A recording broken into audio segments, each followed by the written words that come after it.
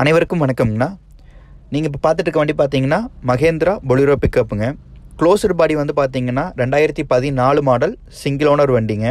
Life tax வண்டி insurance FC வரக்கூடிய பத்தாம் மாதம் வரைக்கும் லைவில் இருக்குங்க. வண்டியோட விலை வந்து பார்த்தீங்கன்னா நாலு லட்சத்தி நாற்பத்தி ஐயாயிரரூவா கேட்குறாங்க பேசிக்கலாங்க. இன்னொரு வண்டி பார்த்தீங்கன்னா ஓப்பன் பாடி ரெண்டாயிரத்தி பதினொன்று மாடல் செகண்ட் ஓனர் வண்டிங்க.